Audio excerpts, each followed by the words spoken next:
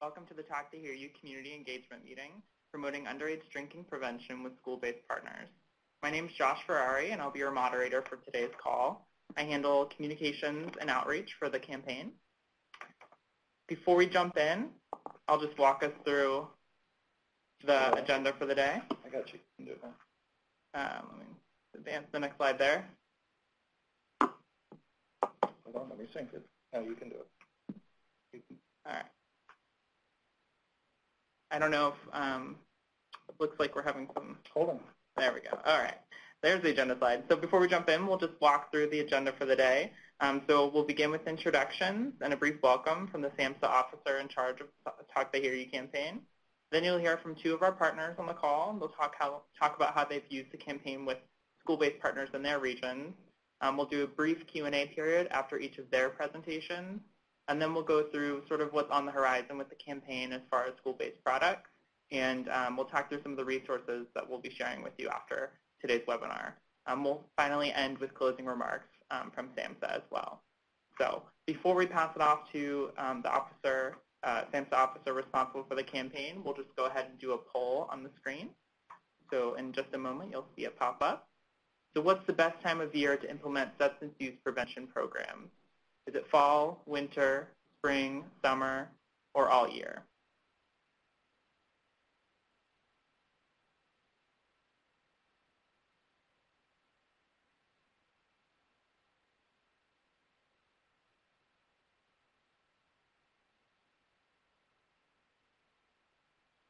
Looks like we getting some results here. Give it a few more seconds.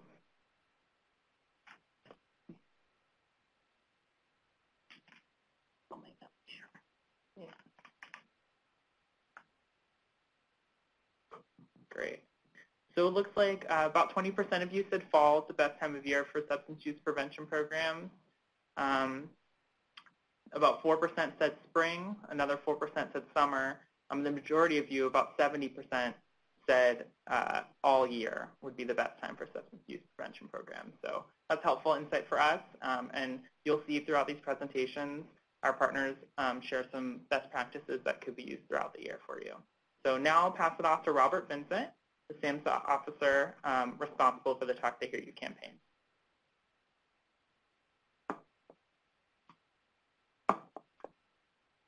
Hi, everybody. Welcome.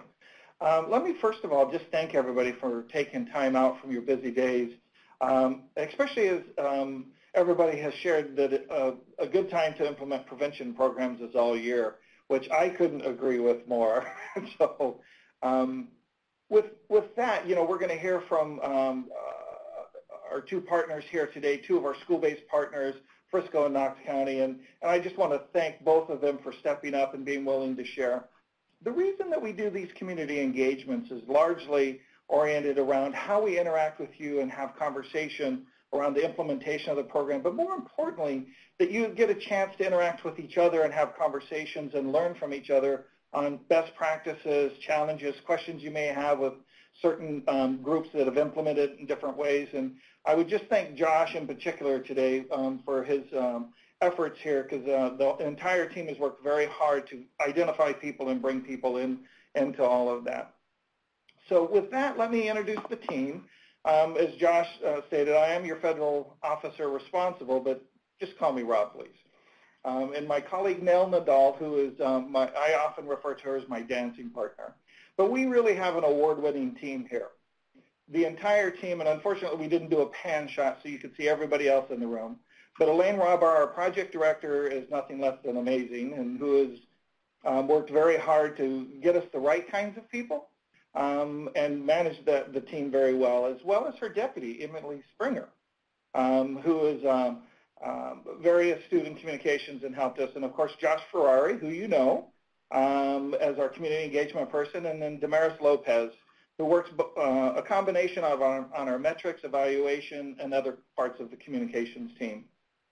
So with that, I'd also just want to take a minute to remind everybody why we do talk to hear you. What's the what's the whole point of all of this? And sometimes in all of our busyness around identifying um, specific partners or communications development or PSA conversation, sometimes we just have to step back. So I'd like to just take a minute to remind you of kind of what the campaign goals are. Talk They Hear You fundamentally is about creating that parent conversation. Um, our, work collectively is to how it is that we increase the awareness and understanding among parents around the prevalence of underage drinking. Underage drinking still represents the, the, the substance of choice by young people under the age of 21. Um, and in today's conversation, you might easily assume that everybody's doing an opioid or heroin or some version of that, and, and that simply is not true. Um, underage drinking still is uh, quite prevalent in all of that. Um, secondly, we're hoping to always increase knowledge, skills, and self-efficacy among the parents. Our chief job is how do we help them feel comfortable and competent to have these kinds of conversations um, and feel like they have all the information, get a chance to see it be modeled, um, work with um, a variety of community coalitions and other people to assist them. And of course, our work on the PSA and the campaign is around just trying to identify those things that would help showcase that good work and create uh, materials that would support it. Lastly, the real action here is that we want parents to take an action. We want them to have that conversation, thus talk, they hear you. So with that, I just wanted to take an opportunity to um, remind everybody why we're collectively gathered here um, and thank our two partners. Um, again, I could not thank them enough for this, and I think um, don't be shy. Ask all the questions you want. It's very important that, that you have a full engagement. And if we can't get to all of your questions today, we will certainly work as a team to get to them a little bit later. So with that, I'll turn it over to Josh. Great. Thanks, Rob. And so um, as moderator, I'll just go ahead and introduce our next speaker. Uh, William Solari is the Student Assistance Coordinator with Frisco Independent School District in Frisco, Texas. And so now um, the floor is yours, William. Thanks, Josh, and hi to everybody. Um, as Josh said, my name is William Solari, and I'm a Student Assistance Coordinator for Frisco ISD. Um, basically, in a lot of different um, places, that's just called a crisis counselor. I also am a board member of the Substance Use Prevention Coalition of Collin County, and I also do some private practice work. But as um, you all know we're here to talk about Talk They Hear You, but before we, um, before I get into the two campaigns that uh, we've used here at Frisco ISD, I just want to give you some background uh, into our school district and why we ended up choosing the Talk They Hear You uh, campaign. So we are now the fastest growing city in uh, the United States. In the last five years, we have opened uh, four new high schools, four new middle schools, and nine new elementary schools. And just to give you an idea of kind of that in perspective, um, each of our high schools has 2,200 students, or approximately somewhere between 21 and 2,200. So that kind of gives you an idea of the fast-paced growth that we've been experiencing. So why did we choose Talk They Hear You? Um, there's, we were looking for a way to address with our parents the underage drinking prevention issue, and we really didn't want to recreate the wheel. So when we started to research different programs, different um, ideas that were out there, when we found Talk They Hear You, there was a couple things that really attracted us to um, the program. The first thing was that it's, you know, sponsored by SAMHSA.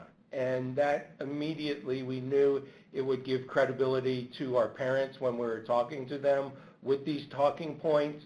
Um, it also was very effective in getting our school board and our school top administration uh, on board with the program as well. They're always looking for, you know, credible uh, resources to give to our parents and to our community.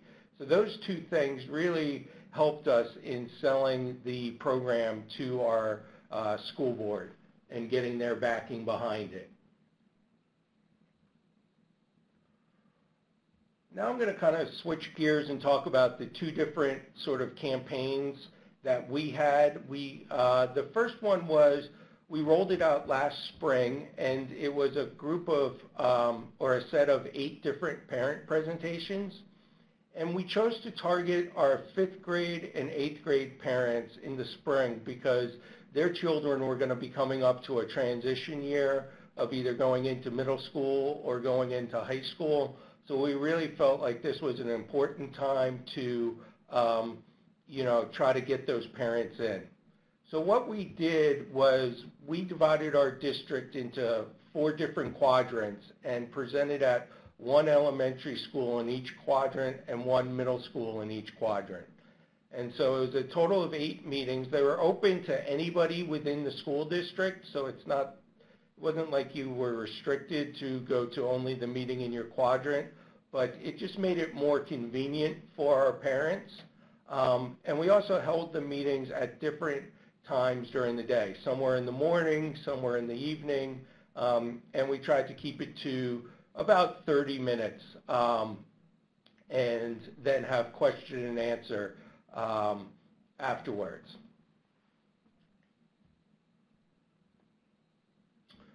So the content of the presentation uh, really was based upon the different tools that the Talk They Hear You campaign has.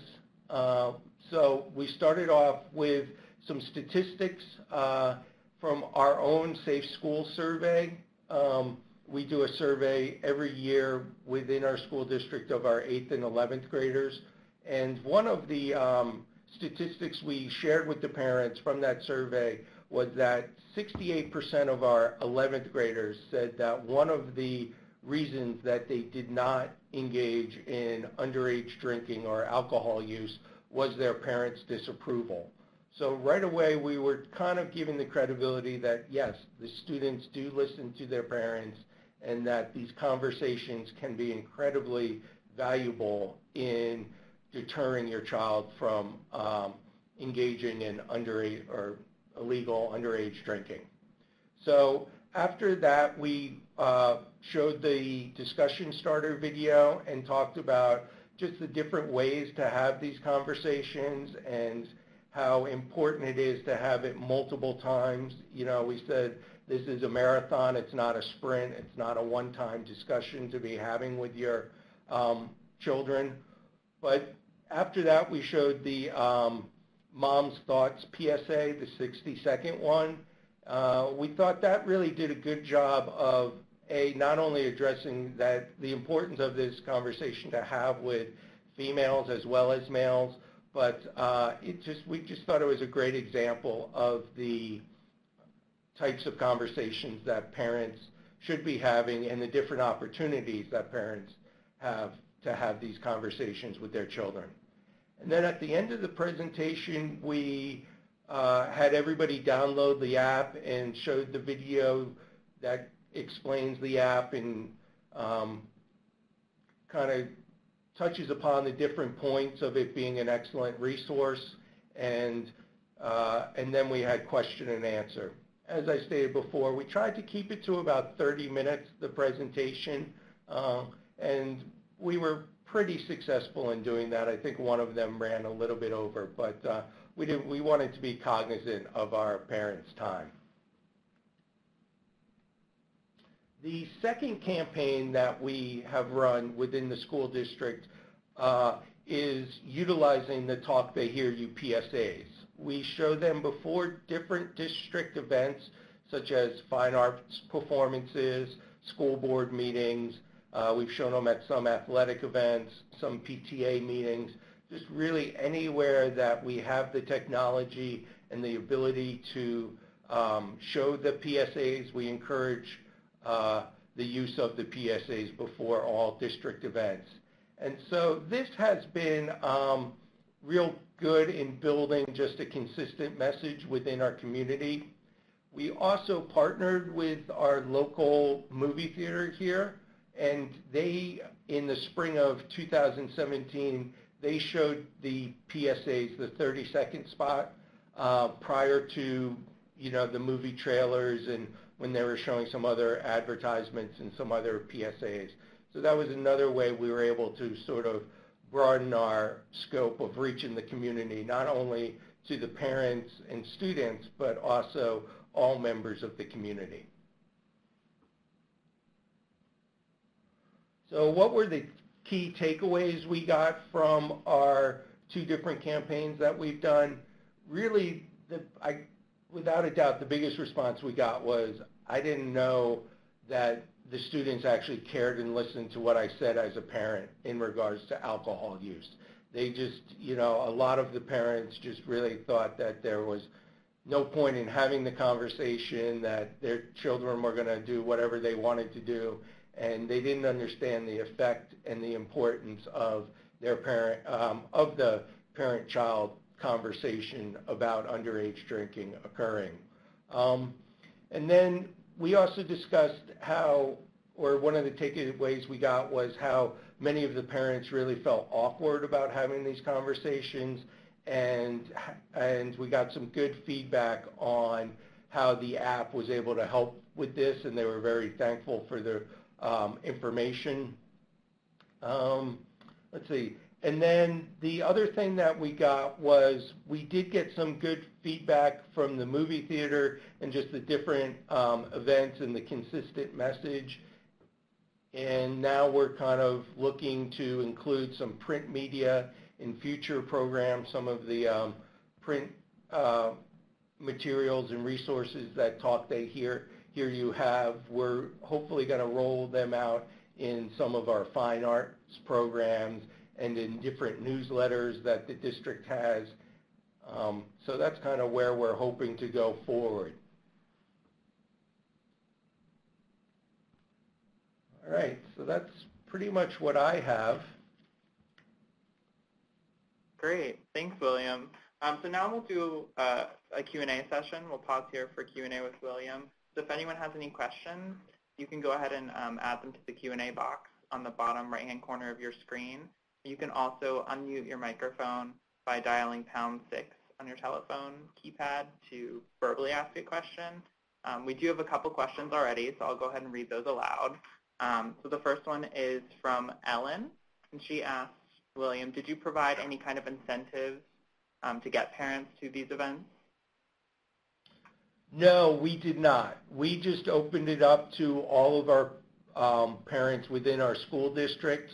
So you know, one of the things, one of the challenges we've definitely had is getting parents out to our um, substance use prevention programs, parent presentations.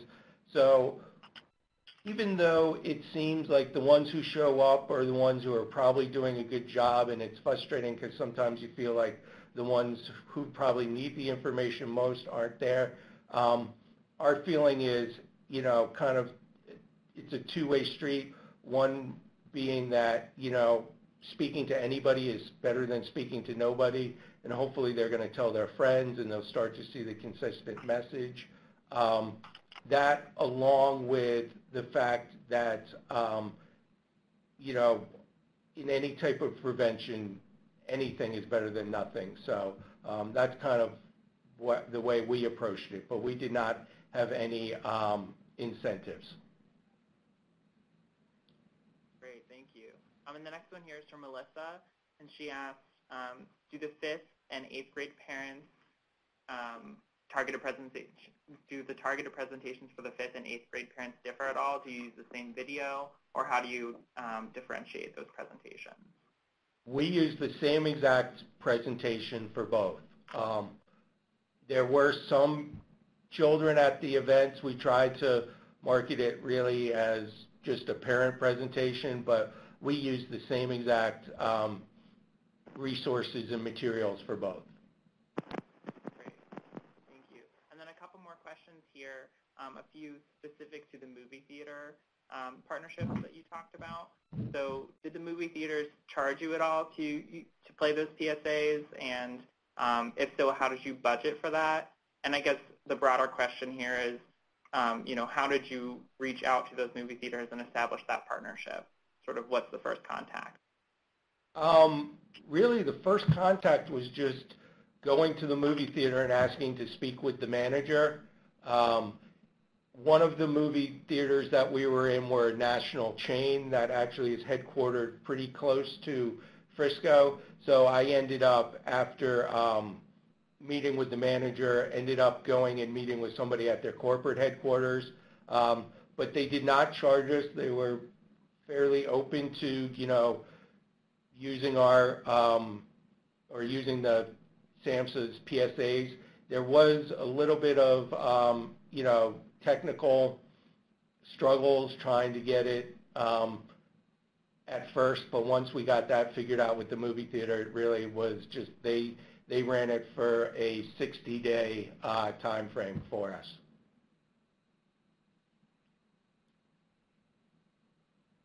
Great, thanks, William.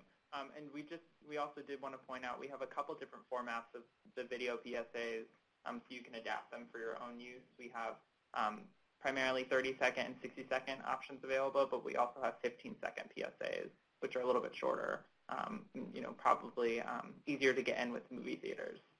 As well as the high res, because that's probably what the theaters are looking for is more of the high res kind of stuff. Mm-hmm. And so we have a web-based files, but we also have broadcast quality files that you would work with your local stations to use, or again, those movie theaters would probably be of interest.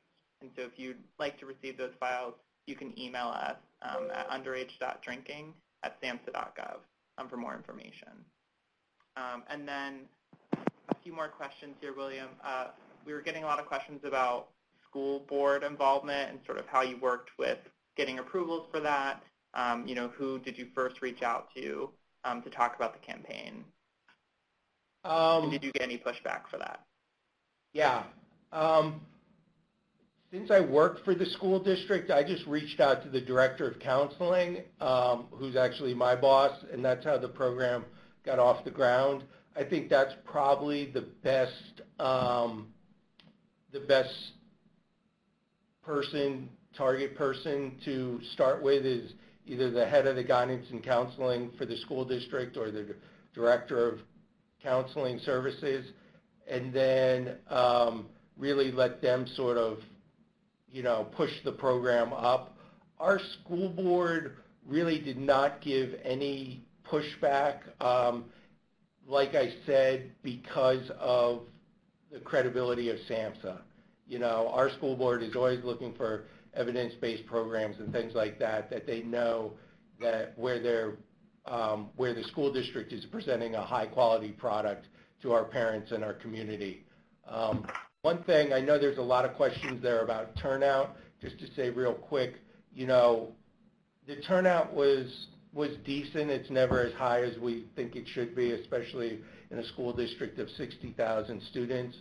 Um, but I think one thing we've done with the PSAs at the events is we've kind of taken the marketing um, strategy of, okay, well, let's take our message to where we know the parents are, either at athletic events, fine arts performances, and things like that. So I think you have to get a little creative on that part of it, but um, you know, there's still value in doing the parent presentations as well, without a doubt. Great, thanks, William. I mean, we're, we're getting a few more questions about um, the PSAs in movie theaters. Um, so people are asking, you know, how you, you know, are you able to put your logos on the PSAs, which is some, something we can talk to right now. Um, you know, uh, what movie theaters did you work with? I knew you kind of addressed that a little bit. Um, so if you're looking to customize the PSAs for movie theaters, we do have a brand guide on the Talk They Hear You website. It's underagedrinking.samhsa.gov, which is at the bottom of your PowerPoint right there. And so um, we do have a, a bundle of sort of branding resources available to our partners, and the brand guide would probably be the first one you'd want to check out. It just talks through a little bit about, you know, um, the editorial guidelines, as well as how you can use your own organization's logos or contact information to include on um, different PSAs or other campaign products. So we'll be sure to send that out in our follow-up email, um, but that's something you might be interested in checking out for the people on the call who asked about that. Um, and then another question came through about the possibility of um, the expansion of the campaign to include other substances. And that's something we're actually working on right now. And Rob, I don't know if you sure. want to speak to that a little bit. Sure. So um, this year, um, uh, still working its way through final clearance, but we'll be coming to you with some new print materials um, in short order. You may have noticed we've produced three new PSAs this year um, that um, are out there, and we have broadened those to include other substances, and particularly prescription drugs and marijuana um, has been the focus um, on both of those, as well as including the military um, uh, folks as well. Uh, the print materials are coming out. It will be a series of print materials that will assist in, in the similar same um, prescription drugs, opioids, marijuana, um, as well as underage drinking. We always keep all, all of that together because usually, I, I hate to say it, um, if they've started one substance, they, there tends to be not just a single substance oftentimes used. But what people aren't always aware of is sort of the synergistic properties, some of those kinds of things. So those are soon to come to you. They'll be up on the website um, not too far down the road once we receive the final clearance for that. Um, the other thing that I would offer up um, is that we are always interested in your suggestions. So that if, if there uh, is another substance that is percolating, uh, we are happy to take that under advisement. I uh, won't say that we can make a commitment to it um, uh, and that it would need to ha have national perspective, but that's not to say that we wouldn't develop something along those lines. So if you're happy thoughts that way, please submit. We're happy to entertain it and take it up as we start our development process and think about how it fits into the larger campaign. And if we can do it, we can put it in our queue for development. Great. Thanks, Rob. Um, and then, William, we do have um, just one more question for you here, and then we'll move on to our next presenter. So a few people are asking what kind of turnout did you have for these events? So maybe you could speak to that a little bit. Sure. We had, um, I would say we probably averaged about 60 to 70 people at the events. Um, one of them, the um, I think it was the second, yeah, the second eighth grade presentation, we did not have a good turnout just due to um, it just didn't seem to get advertised like it was supposed to. So, um, you know, I think it's important to start advertising probably 30 days out from when you're actually going to have the event. And, um, you know, we had it on the school newsletters that get sent out every week.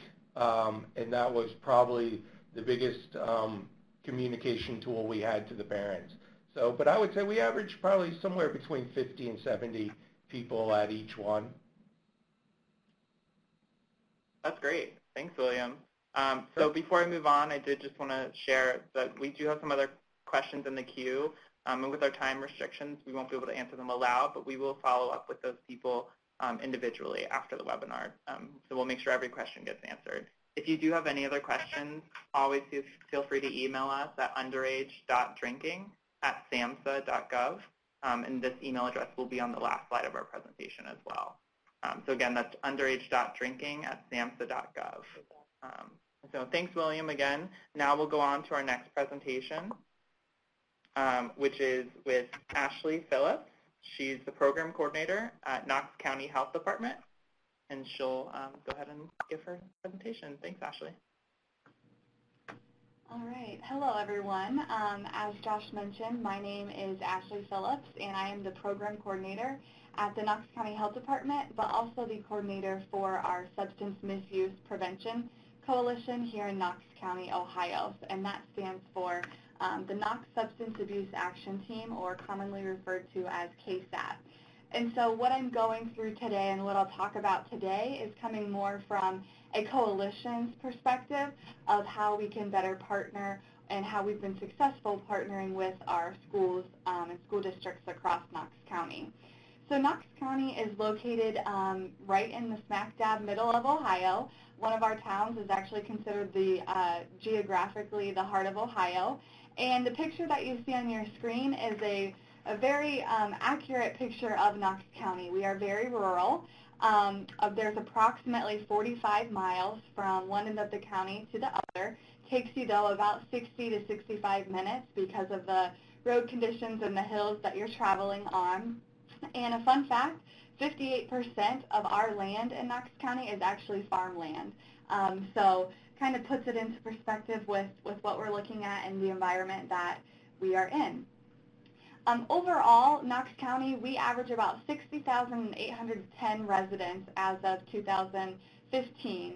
Um, we have five public school districts with one um, private school district, and I'll talk about how um, we tailor our messages a little bit differently with our private school districts as well as our public school districts.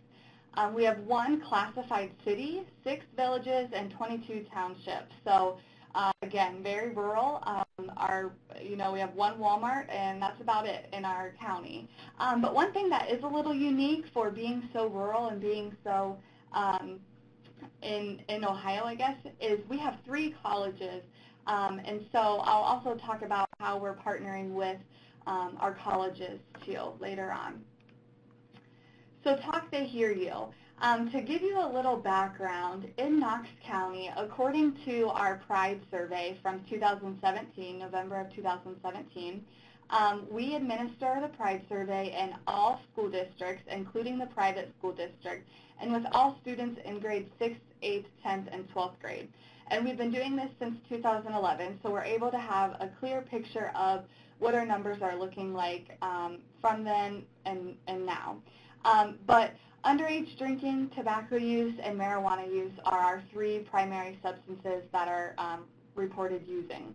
So just about 34% of 12th graders report that they use alcohol regularly, and we define regularly as monthly use. Um, almost 20% of them use marijuana, and 15% of them use tobacco, again, um, regularly. The average age of onset for use in Knox County is 12 years old. And so when we do some of our presentations that I'll talk about, um, we're really trying to reach parents who have adolescents.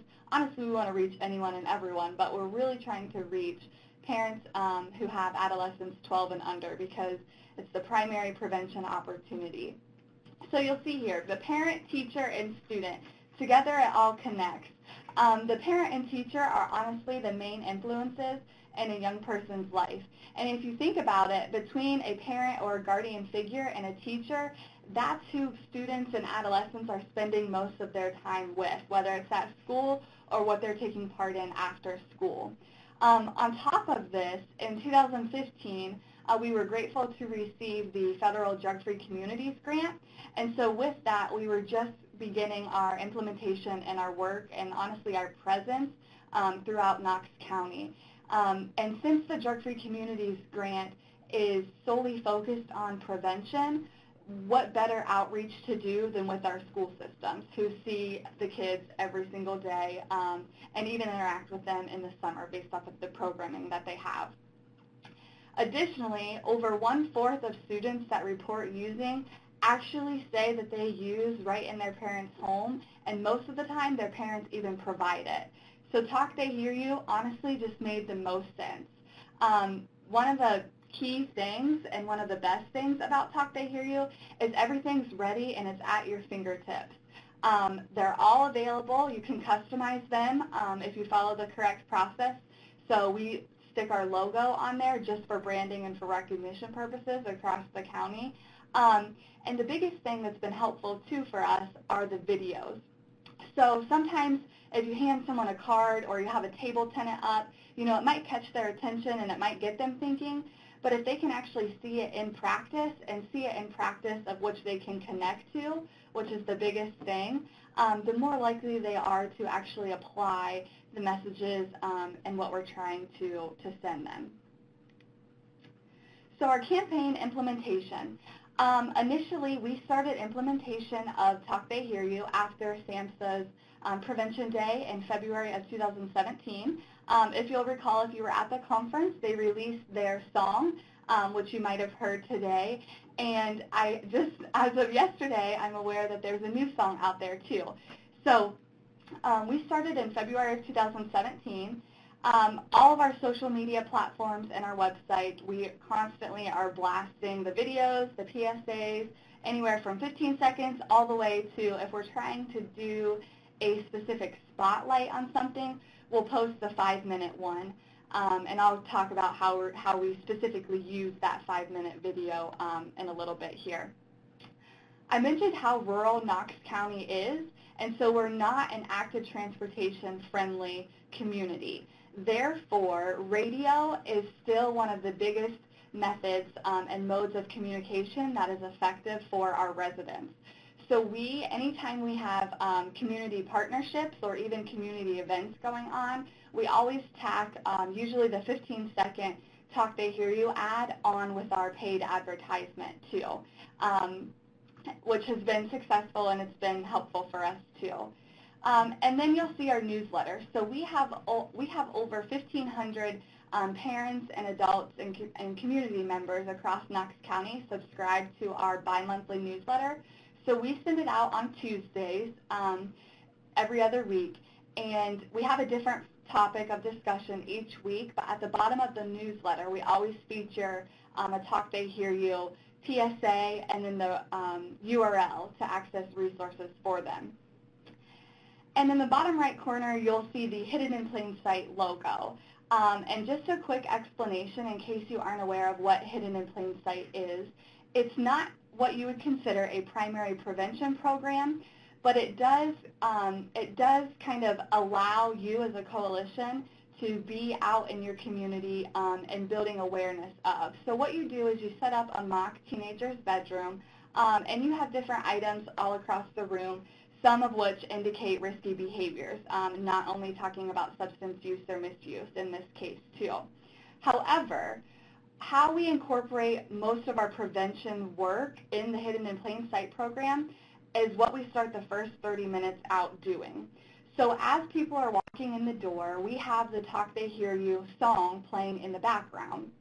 Um, and it kind of sometimes will catch their attention. Sometimes they think it's just background music. Um, but then we go into the data portion and the education portion of the training. And what we're focusing on there is what our students in Knox County report using, um, how accessible they feel substances are, where they get them, so on and so forth. But all throughout our presentation, we insert the Talk They Hear You videos. Um, and so we have parents and we have adults tell us all the time that, you know, when they first saw the first video, they thought, oh, that's really interesting. And the more that they saw the videos, the more they thought, oh, this, this is doable. I can start a conversation, especially when they haven't ever done so um, yet before anyways. So we have done Hidden in Plain Sight um, since two, for about two years now. Uh, we've attracted or we've reached 4,000 adults um, and we've done over 57 presentations. All of our six school districts in Knox County have hosted at least three presentations um, for their parents of students there, as well as we've done a staff training at four of the six school districts during their professional development days. So what are some best practices in Knox County that we've come across? Um, personalization especially when you are rural, um, chances are you, you know people that you run into. You can't go to the grocery store without knowing someone um, or seeing someone that you at least recognize. So build the bond. Um, whenever we started implementing the Talk They Hear You messages, we, we realized just how um, beneficial they could be in the school. And so we've tacked on something else with it, our Build a Bond. So you know, it's starting that conversation, having that connection, um, and making, tying that relationship together.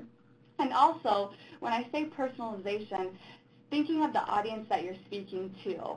And so when we're speaking to our school who has an average graduating class of 50 students, we're going to focus more on what type of messages, or maybe we'll focus a little more on the alcohol PSAs that are available because we know that's the primary substance used there. Um, to capitalize, expand on your current efforts. So no matter what you're doing um, throughout your community or with your coalition, tack on Talk They Hear You with everything that you're doing. Whether it's the business cards, the table tents at trainings, whatever it may be, there's always a place to implement the Talk They Hear You campaign. Um, and with that, you just have to make it repetitive. Um, so I mentioned we do the hidden in plain sight trainings with all of our schools. We also do um, any sort of substance abuse or prevention trainings with all of our schools right before um, they start school and with their school open houses. So what we do is in every classroom, uh, we have table tents, um, which you'll see a picture of later on in my slide, of the Talk They Hear You messages. So they're, again, they're seeing it multiple times Um, and every person who walks in the door of the school is handed one of the Talk They Hear You business cards. And so, you know, even if it's just a business card, A, it's looked at as a freebie, which has, all, which has been beneficial for us. But B, it's something that it's small, so they can slip it in their pocket or slip it in their purse um, and take it with them too. Um, it's not like a big piece of paper that they have to carry that chances are they'll fold up and, and toss away in the trash too. Um, and always being able to address and, and provide those additional resources. And we found this when we're doing our staff trainings at schools. When we start to show one of the videos, they'll ask, well, what if we were in this scenario? How would that look like? Or what suggestions do you have? And sometimes we're able to use the other videos that SAMHSA and Talk They Hear You has provided for us. Other times we just have to think about, let's actually put this into practice and what do you think would work best for you? And so the videos provide um, really great talking points to get the conversation even as, as, as we're training and providing the education to our um, community members. Collaboration has been um, a key thing for us. So Knox County has over 12 um, different community fairs and festivals. So anytime we're out in the community, we take all of our Talk They Hear You um, resources with us. And actually what we started doing this past year is all of the vendor tables have partnered with us and we stick a table tenant on each of their um, vendor tables. So again, it's making it habitual, making it present all the time. Probably not a surprise to many of you, um, involve your youth. So if you have youth, um, if you're at an athletic event, sometimes we'll have a, um, when, they're, when it's during halftime, if we have the video screen in one of our gymnasiums, we'll pop on a video. And you know, it's not necessarily that everyone stops what they're doing and looks to the video screen, but they hear that background noise too instead of the music playing. Um, and then you can have your youth walking throughout the stands handing out the cards um, and so on, just some examples like that. I mentioned our professional development and staff meetings. So we do those every year. Um, we tailor our program based off of what is most prevalent at that time. And so last spring, um, before our teachers started their spring semester, we did our trainings focusing on the vaping, um, specifically with the Juul, because that was such a hot topic at that point. But again, it's never forgetting that to always include your Talk They Hear You campaign. Um, and this, the song, it's, it's catchy, um, and so it's just another thing that you can add on to what you're doing. That picture you see of the resource toolkit is what our coalition created um, last year, and so it's basically just a prevention resource for any community member. We've dispersed over 7,525 of those booklets throughout our community. And so when you think of us having 60,000 residents and we've had 7,000 out there, that's a pretty good ratio of what we would consider. Um, and every other page, we have the Talk They Hear You logo and at least a picture or a snippet of someone um, one of the resources that Talk They Hear You provides. So those are just a few locations that, um, that the booklets are in. The biggest thing that I could recommend to anyone is the consistency part of it. And the thing that's nice about Talk They Hear You is it's consistent just in yourself. You don't have to, just in itself. You don't have to worry about trying to tailor a message or let's update this or that because it's already provided to you and everything is free. So how does it get better than that? Um, but the biggest thing too with that is whether it's your coalition or whether it's the staff at your school when you're having your parent-teacher nights, speak the same messages um, and do that consistently. Um, and again, just encouraging those to start the conversation. So two lessons learned to kind of wrap up here is budget additional funds to support your implementation. So although the resources are free, how can you further promote those? Um, social media and radio campaigns are the two most effective um, advertising means in Knox County. And so we pay for the Facebook boosting. We pay for those 30-second um, radio ads. Um, so how, do you, how can you make the most of what works in your community? And carry those business cards everywhere. Honestly, besides the videos, those business cards have been so effective for us um, because it's just a little freebie that we can give away. but it not only has a picture, but it the the title of each business card doesn't say substance use or alcohol use. Like the one in the top right, it says before she starts buying into peer pressure. So it's not always so focused on those substance use messages um, that a lot of times people like to quickly turn their head to. Um, it catches their attention because it's not saying that um, right out in front. So I think that's all I have. Um, so thank you. Great, thanks, Ashley. Um, and so now we have another five minutes here for Q&A. Um, I know some questions have already come in through the Q&A pod, but again, if you have a question, feel free to go ahead and type it below. Um, otherwise, you can unmute your microphone by dialing pound six on your telephone and it, um, verbally ask your question. Um, we'll just run through some of them here. So um, the first one here is, have you had a booth at back to school nights? And if so, were those successful? So the first year in 2017 uh, for back to school, we had a booth at all of our school fairs um, and open house nights.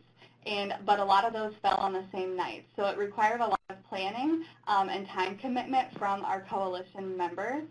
But from that, though, we were able to determine what schools were the most effective use of our time, meaning how much, not only how many parents attended, but how many interactions we had with the attendees. And so what we did this past school year is we selected um, three out of the six school districts and we hosted a table there um, just based off of our previous year's experience and that seemed to work well for us. Um, the next one here is, uh, is the resource uh, the resource toolkit is, is it also provided by SAMHSA? I believe you're referring to the credit card flash drives that, or the partner toolkits that we had mailed you, Ashley, a while back with those. Oh, okay. Yeah, so those those are available. Um, what I did is I just emailed um, the Talk They Hear You, the underage drinking, um, to to get those resources. Um, and then another question was about, so I think that one might, might have actually been about the resource toolkit that your team had developed, actually. Apologies for the confusing confusion there. Oh, okay. Um, but someone else asked yeah. if you'd be willing to share that coalition booklet. Um, Absolutely, yeah.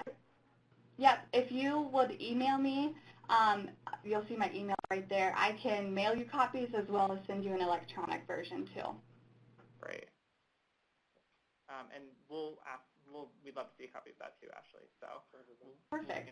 Uh, one thing that I did fail to mention too with that resource toolkit, part of the reason why we've been able to um, get so many of them out in the community is when we first started our staff trainings, um, we equipped every staff member in a school in Knox County with one of those booklets and we could tell which um, teachers like took the time to read them because those teachers, we had about 25 of them um, request them each year for their to give their parents too.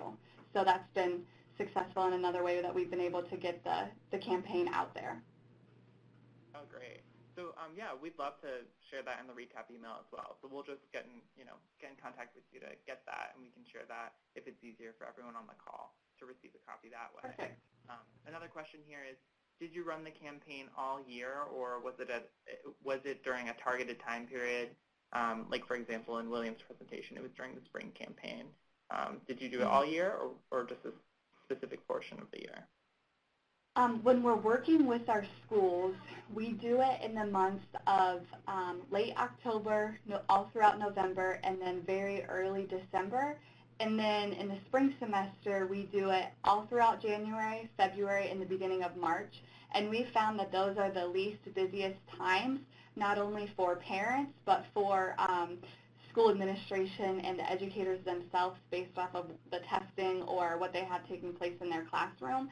So those are the times that we really try and um, connect with our schools and be present in the schools. And then in the summer is when all of our fairs and festivals throughout the county are, and I think we have about 15 of those. So that is where a lot of the messaging that we do um, during um, June through August takes place. Um, and another question here specific to the business cards that you were sharing.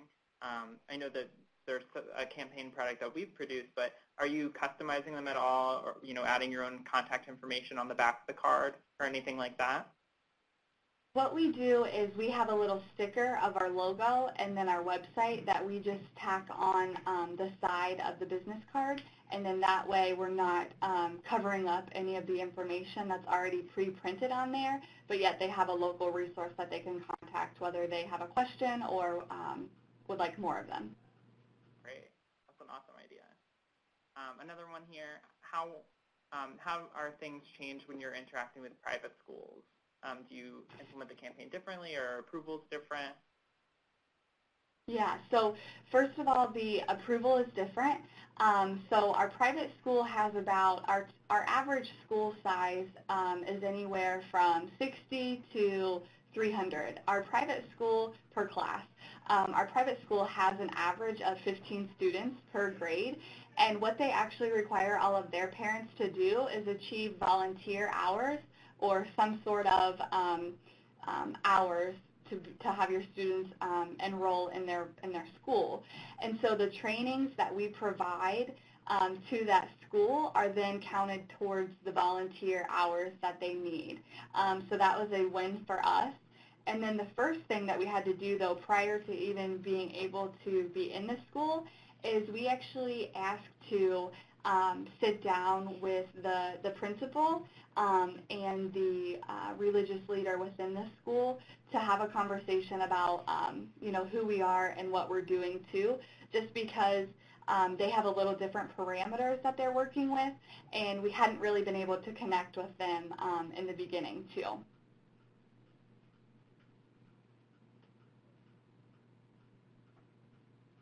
All right, thanks, Ashley. Um, and I know uh, we're coming up to the time period here. We've been getting a few questions about evaluation of the campaign, so we'll make sure we spend a little bit of time here at the end of the presentation to um, talk through that. I know we do some evaluation on the national level um, and, and, on the local level too. So um, we'll pass off to Rob, I guess. Yeah. So uh, a couple of things as it relates to um, uh, evaluation, and I saw a couple of other questions here as well around metrics and some of those kinds of things, which sort of prompted some discussion back here for us to see how we might assist you further. Um, Talk They Hear You is go undergoing a national evaluation. We're still waiting for our OMB approval for the national survey. That'll be coming sometime in the next, I don't know, this quarter, next three or four months at, at, at the latest, hopefully earlier than later. Um, that being said, we are continuously evaluating the campaign. In fact, this year we did a pilot study. We're just now getting the final results of that in. We had two schools that provided um, pilot sites for us where we tested that. Um, we will probably be looking for some more of that at some time in the future, depending on how things go. Um, but that being said, we're not ready to quite release those results. Um, those were targeted towards behavioral change and, and, as much as a media campaign can accommodate that. And that's, I always use that very cautionary statement because it's very hard to measure behavioral change of a media campaign. That being said, I'll let Elaine chime in here just for a few minutes too to talk a little more expansively about some of that. I'm going to give you my chair. We're going to rotate. yeah, I'm just going to give you my okay. chair. That way you're not having the... Thanks, Rob. Um, hi, everyone. So, yeah, I think, Rob, you did a really good job sort of explaining the, the, the process and where we are in that process. So, um, you know, as Rob said, the national survey is going to start hopefully within the next several months. We'll, as soon as we get OMB approval, um, we'll kick that off. And then with the with the case study, we um, that's really where we're looking at measuring some of that behavior change. Um, so that also, you know, as Rob said, we are getting the results and the reporting out. I think that what we'll do is once we're able to get that analyzed and get approval on that, what we'll do is probably uh, plan a, uh, one of our quarterly calls to be able to go through that and talk about the evaluation more in depth and perhaps have our evaluation specialists join the call and really talk through the evaluation of the campaign um, and share some of our um, results and findings and talk about how we can help you guys do some evaluation on the local level.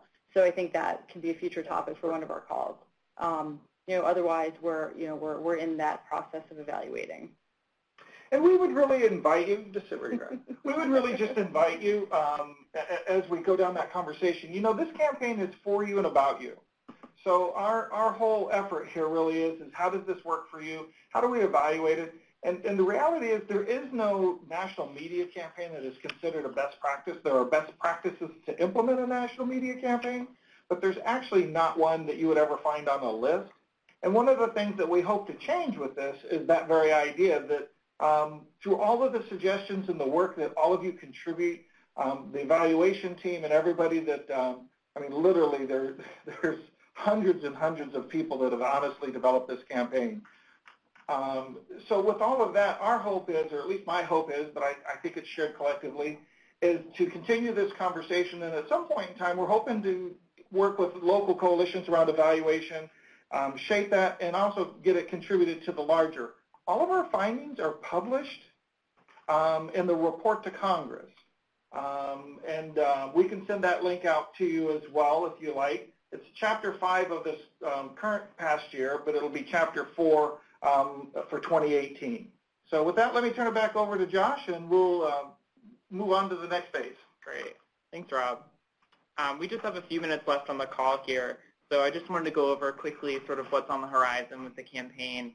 Um, I know Rob talked a little bit about the expansion earlier, but we um, sort of with the expansion to uh, alcohol and other substances, we've also adapted one of our existing educator um, resources. So we have an educator handout online already um, that we've adapted to include some other tips um, for educators to talk, sort of talk about the campaign, recognize the warning signs of substance use, uh, maybe with their students, and uh, you know also the ways that they can sort of implement the campaign within their school communities. You know maybe that's speaking about it at a PTA meeting, or maybe it's sending um, messages home with with students uh, via email or via backpacking, stuff, you know stuff like that. So once that's released, we'll be sure to follow up. You'll receive the existing resource with your um, email recap bundle as well. And so uh, the second part to this is after today's webinar and the days following, we plan to share a recap email, which will include uh, a bundle of social media posts, a newsletter blurb, and uh, a blog template with spots for, you know, local statistics or quotes from school leaders um, that may be of interest to any schools or community-based groups on the call today um, in conjunction with Red Ribbon Week, which is coming up in October. So you'll be receiving that from us. And then the last thing I just wanted to touch on here is that um, with the trademarking of the campaign, we do offer brand licenses for anyone looking to use the campaign. Again, um, the campaign is free and open to the public as is. Um, we just love to learn how you're using it to um, help us tailor the products going forward and sort of, you know, learn um, your best practices, kind of like we've highlighted on today's call with our partners today. So with that, I'll turn it over to Rob just to give uh, closing remarks.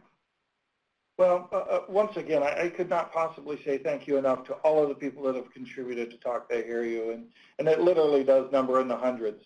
Um, many, many coalitions across the United States have um, uh, weighed in, uh, continued to provide us feedback, served as focus groups, um, our job collectively is to take the great ideas and try to create um, first-rate materials. So part of the trademarking, as Josh said earlier, is we're hoping to bring to you, sort of, if you will, the good housekeeping seal of media campaign that people can walk away and trust.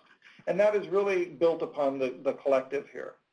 So I would just offer up, continue to talk with us, provide us feedback. If you have thoughts, ideas, things that we've done well, things that we've not done well, we want to hear from you. And I could not thank uh, our presenters enough today for all of the hard work they do every day in schools. Uh, you're all unsung heroes, so thank you, thank you, thank you from the collective here. And with that, I'll turn it over to Josh, and we'll close the meeting out and adjourn. Yep. Thank, uh, thanks everyone again for joining. Um, be on the lookout. We have these partner um, sort of community engagement calls on a quarterly basis. So our next one will probably be sometime in December or early January. Um, thanks again for joining us today, and uh, we'll be in touch soon. All right. Bye, guys.